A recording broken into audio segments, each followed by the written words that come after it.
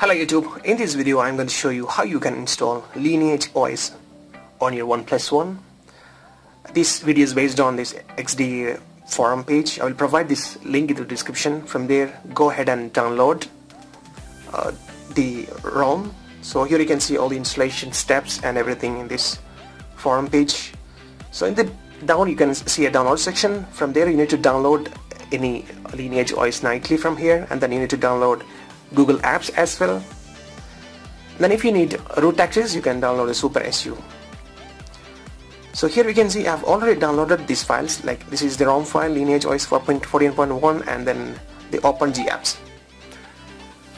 Now you need to reboot your phone and before installing you should have the TWRP installed.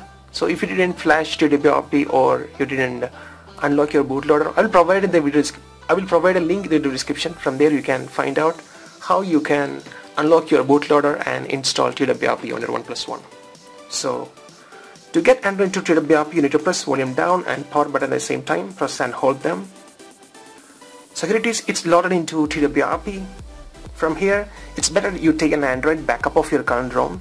So if something goes wrong, you can always restore it later. Once that is done, go and click on wipe and then do a swipe factory reset once that is done go back to the main screen again. And if you are uh, wiping the factory reset you won't be losing any internal data files. So that is that will be safe.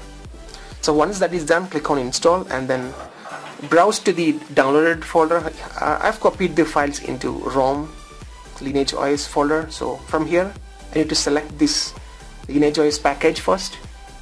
So it will, it will start installing it once the ROM is installed, go back to the main screen again and this time install the G apps. Select the G apps and then flash it.